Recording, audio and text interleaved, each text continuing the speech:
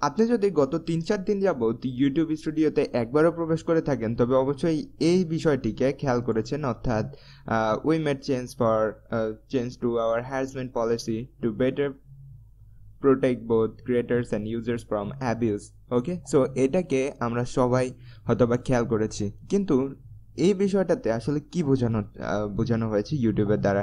এবং এটা কেনই বা যারা রোস্টিং চ্যানেল তৈরি করে চালিয়ে থাকেন বা যারা হয়তো বা কোনো একজন বিশেষ ব্যক্তিবর্গকে নিয়ে ভিডিও তৈরি করে থাকেন, তাদের জন্য কেন গুরুত্বপূর্ণ?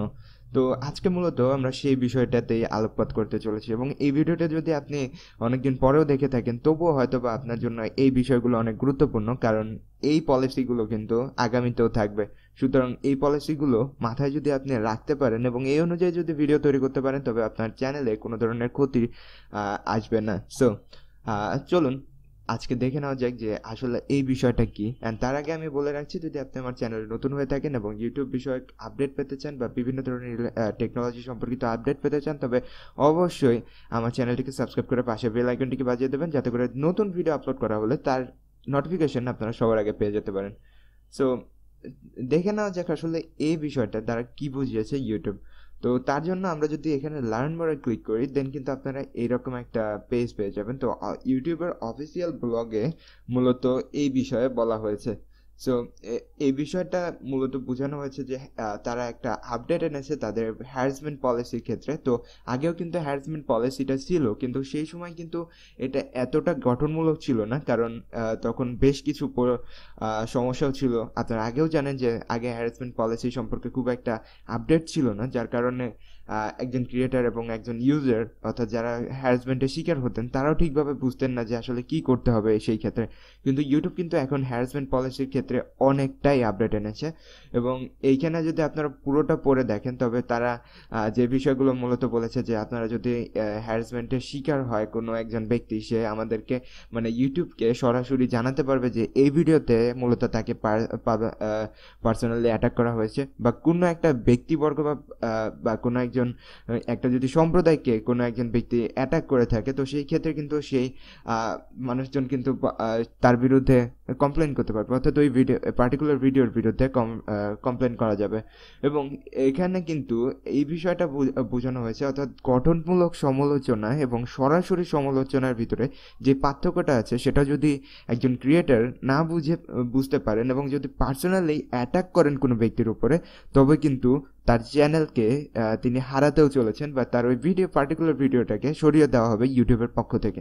তো এই ক্ষেত্রে ইউটিউব বলেছে যে স্ট্রং অ্যাটাক্স অর্থাৎ এটা দ্বারা বোঝানো হয়েছে যদি কোনো ব্যক্তি বা কোনো যদি সম্প্রদায়ের উপরে কোনো একজন ক্রিয়েটর যদি সরাসরি পার্সোনাল অ্যাটাক করে থাকে তবে কিন্তু তার ভিডিওকে টেক ডাউন করে দেওয়া হবে।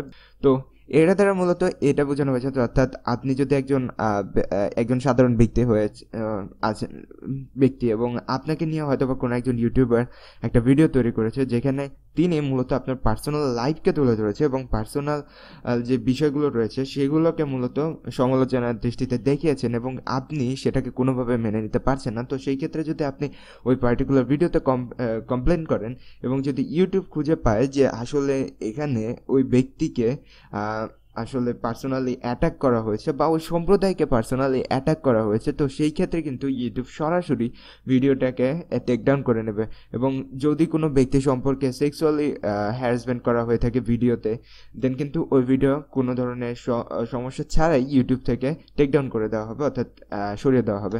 অ্যান্ড দেন হচ্ছে consequence for a pattern of harassing behaviour অর্থাৎ হ্যারাসমেন্টের ক্ষেত্রে আসলে কী ধরনের সমস্যা ইউটিউবের ওই ক্রিয়েটারের উপরে হতে পারে? তো সেই ক্ষেত্রে কিন্তু ইস্যু স্ট্রাইকস তো পড়ে যেতে পারে এবং যদি কোনো পার্টিকুলার ব্যক্তি বা বর্গ সম্প্রদায়কে নিয়ে যদি কেউ একজন খারাপ মন্তব্য করে থাকেন অ্যান্ড যদি সেটা গঠনমূলক সমালোচনা না হয়ে থাকে, তো সেই ক্ষেত্রে কিন্তু আবারও বলা হচ্ছে যে ইউটিউব থেকে ওই ভিডিওটাকে সরিয়ে দেওয়া হবে বা ওই চ্যানেলের মনিটাইজেশন অফ হয়ে যেতে পারে ইভেন চ্যানেলও অফ হয়ে যেতে পারে। অ্যান্ড অ্যাড্রেসিং টক্সিক কমেন্টস অর্থাৎ বিষাক্ত যে কমেন্টগুলো রয়েছে, অর্থাৎ দেখা যায় যে অনেকে কোনো একটা সম্প্রদায়কে নিয়ে বা কোনো একটা ব্যক্তিকে নিয়ে এমন ধরনের কমেন্টগুলো করে থাকেন তার ভিডিওতে। তো সেই ক্ষেত্রে কিন্তু সেটা আসলে কোনোভাবেই মেনে নেওয়া যায় না।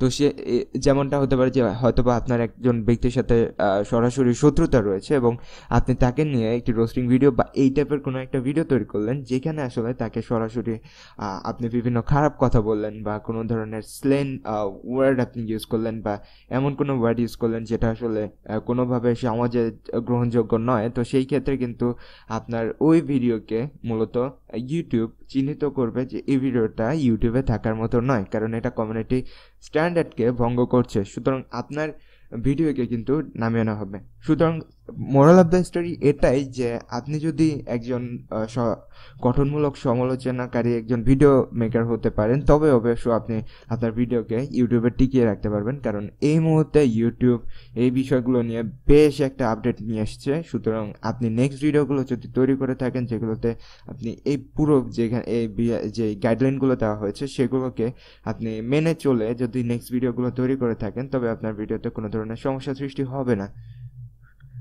আশা করি আপনাদেরকে বুঝাতে পেরেছি আসলে এই বিষয়টা কি এবং এটা দ্বারা এবং এই বিষয়টা কেন আমাদেরকে এতটা গুরুত্ব দেওয়া উচিত। অ্যান্ড যদি ভিডিওটা দেখে আপনি উপকৃত হয়ে থাকেন কোনোভাবে দেন অবশ্যই চ্যানেলটিকে সাবস্ক্রাইব করবেন এবং ভিডিওতে একটি লাইক দিয়ে দেবেন। আর পাশে থাকবেন।